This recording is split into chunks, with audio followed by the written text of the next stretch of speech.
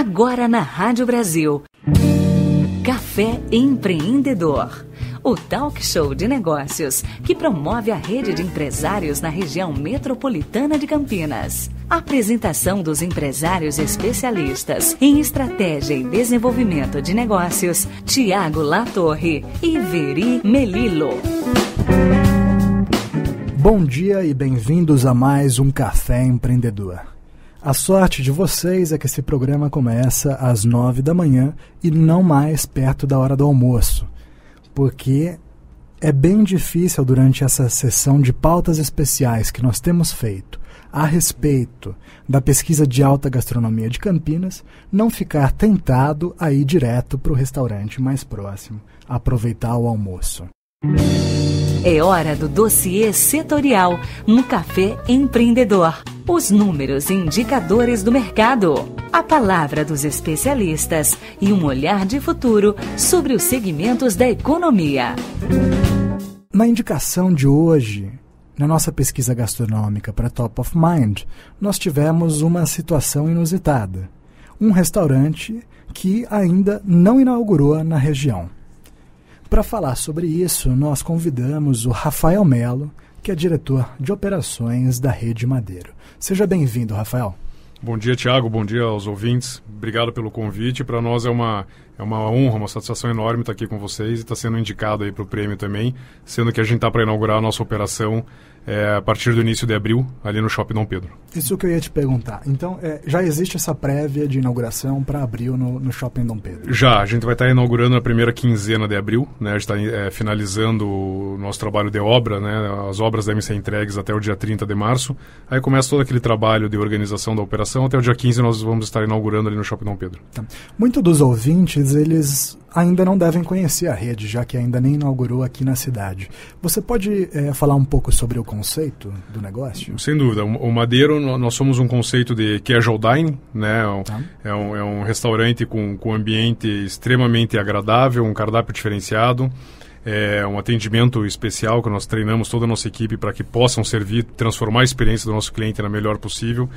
É, o Madeira é uma rede do Sul, né? nós somos de Curitiba, é, nascemos em Curitiba. É, tudo que se consome no Madeiro hoje é produção própria, então nós tá. produzimos o pão, nós produzimos o hambúrguer, produzimos a maionese, nós temos um carinho, é um respeito muito grande pelo produto, é, sempre visando levar o melhor para a mesa do nosso cliente e, mais uma vez, a, a tra transformar a experiência dos nossos clientes na melhor possível dentro das nossas operações. E o seu relacionamento com a rede, qual que é? Você está desde o início, está nos últimos anos? Como que você tem acompanhado o trabalho da, da Madeira? Eu tô, eu tô há quatro anos no Madeira, hoje sou diretor de operações do grupo, é, sou sócio do Júnior Durski nesse, nesse empreendimento. O Júnior é o nosso, o nosso presidente CEO, ele é o, ele é o grande mentor dessa, desse projeto fantástico que a gente está tá focado aí trabalhando. É, eu venho para ajudar aí nessa parte operacional, eu, eu, eu, cuido de todas as inaugurações, das operações é, existentes, das novas aberturas. Então a gente está super focado aí nesse projeto de expansão que tá. a gente vem traçando aí pelo Brasil. Nesses quatro anos que você acompanhou a rede, quantas inaugurações você participou? Eu inaugurei aproximadamente 50 operações. 50 operações. É. é possivelmente por isso também que a marca já apareceu como é, uma das top of mind, como uma das indicações a top of mind. É, mesmo o restaurante em Campinas não tendo inaugurado. Né? É, você pode me dizer algumas características marcantes do, do restaurante? Olha, como eu estava mencionando, é, a gente produz tudo que vocês consomem no Madeiro. Né? Todos os produtos são próprios, receitas próprias, criadas pelo próprio Júnior. Então ele, ele, tá. ele tem um carinho muito, muito especial pelos nossos produtos. É, e nós temos vários pilares, né? Eu vou citar três deles que são os nossos diferenciais, que são os nossos cheeseburgers, né? Nós hoje é, somos muito conhecidos e conceituados pelos nossos cheeseburgers, que são sem dúvida nenhuma os melhores do mundo. É, nós temos um palmito é, natura, grelhado, assado na hora, que ele é fantástico como uma entrada, uma entrada leve, é um diferencial do Madeiro também. É, e o nosso petit gâteau doce de leite, que é uma sobremesa que faz cinco anos aí que a gente ganha prêmio de melhor sobremesa do ano por vários veículos é, especializados né, em gastronomia principalmente. É, o, o, doce de leite é produção própria, a gente assa o petit na hora. É, enfim, são vários, vários diferenciais que o Madeiro está trazendo para Campinas. E para quem ainda não conheceu nenhuma das unidades, como que é a ambientação desse, desse conceito? Existe uma temática ou ele busca ser mais universalista? Como, como que é? É, nós, nós temos uma, uma, uma arquitetura muito própria, sabe? Uma, uma característica muito exclusiva dos nossos restaurantes. É, a Kathleen, que é a nossa, nossa diretora de arquitetura, ela faz um trabalho fantástico e todos os nossos restaurantes têm a, mesmo, têm a mesma. seguem o mesmo conceito. Né? A gente trabalha muito forte com madeira, é a nossa história também de, de, de negócio. Começou há anos atrás com madeira, o Júnior sempre foi madeireiro. Tá. É, e foi aí que o, que o madeiro nasceu alguns anos atrás. Então a gente tem uma, uma, uma, decoração especial, específica. A gente trabalha com bastante madeira, é um ambiente super agradável. Nós temos os nossos vídeos, a TV Madeiro, que ficam passando nossos vídeos e, e sons especiais que a gente gosta de passar para os nossos clientes, é, para determinadas é, datas específicas do ano também. A gente vai tá. mudando de acordo com, né, com, a, com, a, com a data. Enfim, nós temos um trabalho bem, bem característico, sim, de arquitetura também e ambientação.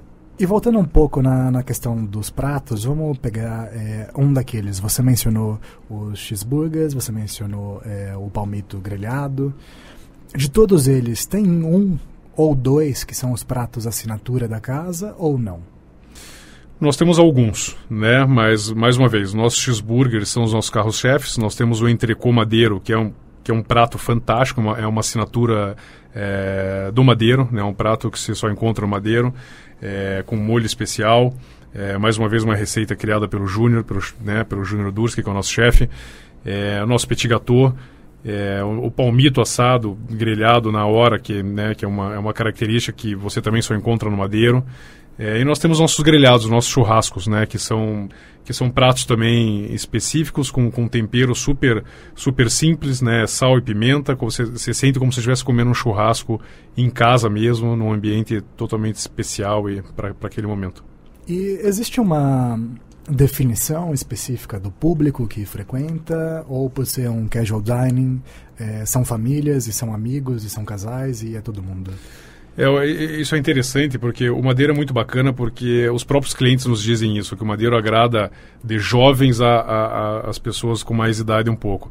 É, você, você se sente bem levando sua família no Madeiro, você fazendo uma comemoração de, de casamento, uma comemoração de aniversário, é, indo fazer uma reunião de negócios, saindo da academia, indo comer no Madeiro com, com roupa de ginástica, enfim, a gente agrada, a gente consegue agradar todas as faixas etárias e, e, e em qualquer momento é, da, da, rotina diária de cada um. Seja uma reunião, seja saindo da, da, da, academia, seja indo é, passar o final de semana com a sua família num, num, jantar especial. Inclusive casamentos já foram celebrados dentro dos nossos restaurantes. Enfim, eu acho que a gente tem um conceito muito bacana e que realmente consegue agradar todos os, todos os, as faixas etárias e públicos. Eu vou aproveitar, Rafael, que nós ainda temos algum tempo aqui de entrevista é, e entrar no assunto principal que geralmente o Café Empreendedor trata, que é de empreendedorismo. É, você mencionou que foram 65 novas operações em quatro anos, né? É, esse é um ritmo de expansão bem grande. Qual é o modelo de negócios que vocês adotam para essas operações? Eles são franquias? Existem variações dos tipos de unidade? É, hoje, hoje nós trabalhamos apenas com operações próprias, né? A gente está super, mais uma vez, focado no atendimento, na excelência do atendimento ao nosso, ao nosso cliente. É, então nós estamos trabalhando com operações próprias. É, nós, temos, nós temos dois segmentos que a gente está apostando muito forte hoje, que é o Madeiro Steakhouse, que são os nossos restaurantes, inclusive um, é esse que nós vamos inaugurar no Shopping Dom Pedro a partir de abril. É, e o outro segmento são os, é o Madeiro Container, que é, uma, que é, um, que é um xodó nosso, é um, é um projeto muito especial, que são as operações que são as operações do Madeiro dentro de, de containers que nós estamos espalhando é, pelo Brasil, em algumas cidades e estradas do Brasil. É, a gente está muito feliz, nós somos pioneiros nesse tipo de projeto aqui no Brasil. É, é, uma, é uma dinâmica totalmente diferente, é um atendimento mais, mais jovem, uma dinâmica mais, mais ágil, uma pegada muito mais, muito mais, mais rápida. É, enfim, é um cardápio um pouco mais enxuto, são com todos os nossos cheeseburgers, algumas entradas. Tá. É o nosso happy hour específico, especial do Madeiro também. E a gente está tá expandindo muito forte esse nosso segmento do Madeiro Container e, e o Madeiro Steakhouse. E esse ano de 2017 nós devemos abrir é, aproximadamente 40 operações né, entre containers e steakhouse e restaurantes. E a gente está muito feliz, a gente está muito focado nessa, nessa nossa expansão, ao, ao, ao invés de, de ficar preocupado ou falando de crise ou, uhum. ou, crise política, alguma coisa assim que o nosso país infelizmente vem vivendo, a gente resolveu baixar a cabeça, focar no atendimento ao nosso cliente, focar na nossa expansão e tentar levar o melhor é, para o nosso público pelo Brasil todo. Só para nós concluirmos a entrevista, então, quem não quiser esperar até abril para conhecer a rede aqui em Campinas, pode frequentar onde? Quais são as unidades mais próximas? Bom, nós estamos em Jundiaí, é, Itu, em Dayatuba, no Shopping Serra Azul, ali em Itupeva. Uma operação fantástica, Madeiro Container também, para quem quiser ir conhecer. Aí nós estamos em Lorena, Roseira, Taubaté, é, Mogi, Taboão, São Paulo, capital. A gente está no Shopping Eldorado, Morumbi, é, no Itaim Bibi, um restaurante de rua, na Leopoldo, com a, a, Leopoldo Couto Magalhães, com a bandeira paulista. Estamos no Shopping Anália Franco, é, estamos no Shopping Vila Olímpia, em São Paulo também. É, a gente está trazendo novidades aí para São Paulo, para o estado de São Paulo e para mais algumas, algumas regiões que têm demanda e que tem um público muito interessado no Madeiro também. E a gente está muito feliz da forma com que São Paulo é, recebeu a nossa marca, o nosso produto e a nossa operação. Rafael, muito obrigado é, pela sua disponibilidade de vir até aqui o estúdio da rádio em Campinas gravar com a gente. Com certeza a inauguração do restaurante também vai ser um sucesso. E fica o convite, então, para os nossos ouvintes conhecerem uma dessas unidades ou então após a inauguração.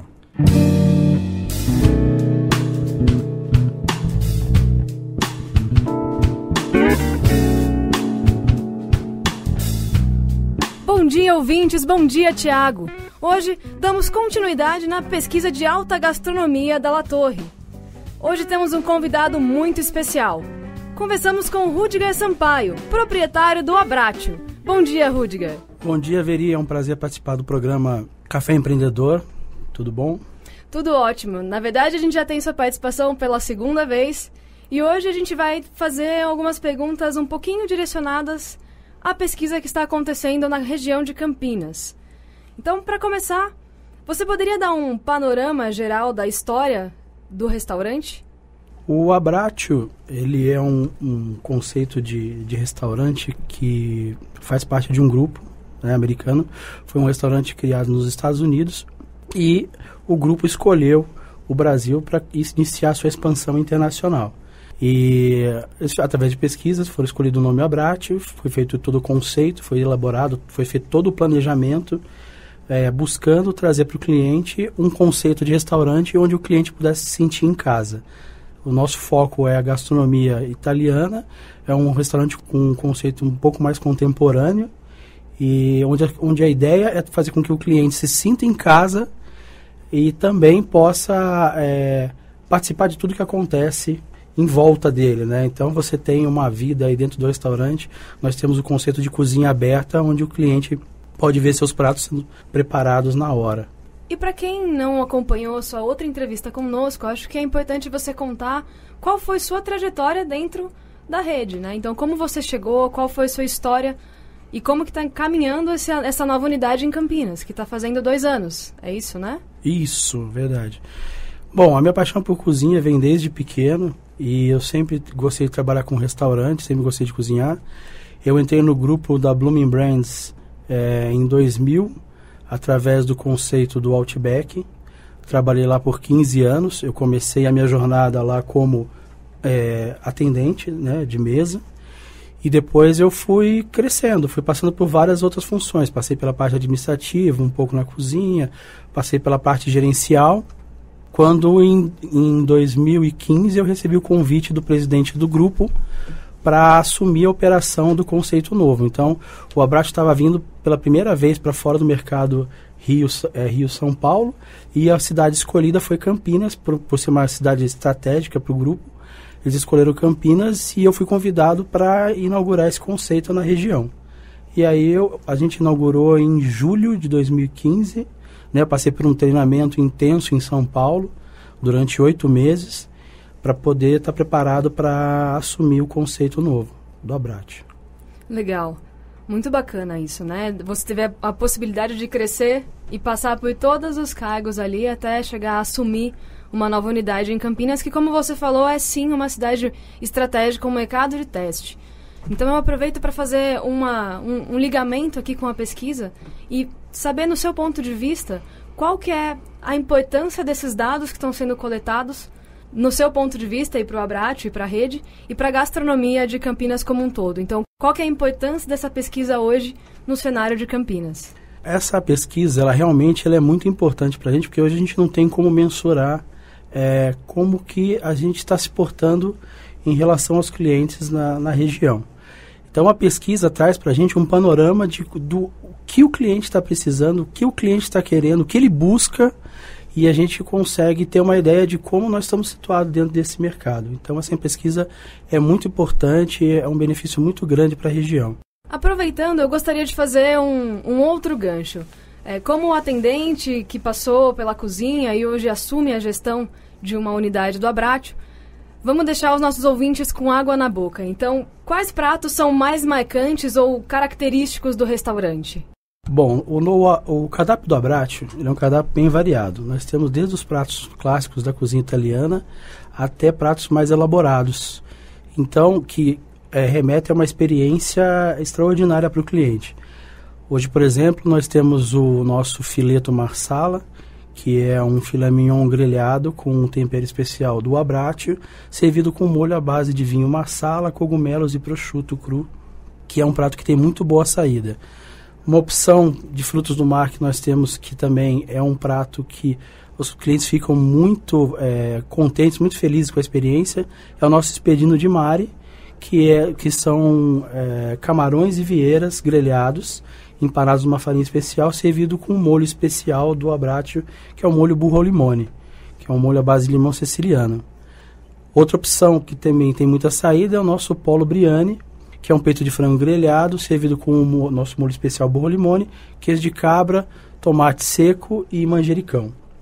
Além do carbonara, que é tradicional, a nossa lasanha preparada na casa, que vão vários tipos de queijo.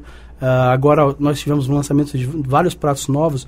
O Abratio tem a política de sempre inovar no cardápio. Então, a cada três meses a gente surgem pratos novos, a gente traz novas experiências para os clientes. Agora, um prato que tem muita saída é o nosso milanese de manzo, que é um, um, um miolo de alcatra é, empanado com uma farinha especial, servido com rúcula no azeite e vinagre balsâmico e limão siciliano. Muito bom, tem uma saída muito boa. Além de outros pratos que foram elaborados que entraram no cardápio agora em janeiro. Então, para quem acha que vai ter experiências com massas, na verdade é surpreendido por uma variedade muito grande aí de opções. Então, mesmo com água na boca e sabendo dessa variedade aí de três em três meses com novidades, eu te pergunto, o que, que os consumidores, clientes e curiosos podem esperar para esse ano de 2017? O Abratio, ele, ele faz muitas promoções durante o ano, porque a ideia dele é que a gente seja a primeira escolha quando o cliente pensar em restaurante para a família. Além dos pratos, por exemplo, a gente tem de, à noite e aos finais de semana o cardápio de família que a ideia é, é realmente poder fazer com que as, as pessoas possam vir ao restaurante e celebrar em família e tendo uma experiência para um custo-benefício muito agradável.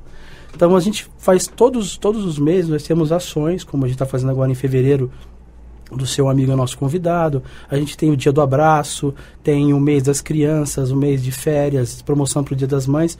Então a gente tem feito ao longo do, do ano várias ações que é para fidelizar o cliente, que é para ele poder ir no restaurante onde ele vai ser bem atendido, onde ele se sinta em casa, onde ele possa ir com a família e ele, e ele possa aproveitar de várias ações que ao longo do ano vão, ser vão trazer benefício para ele.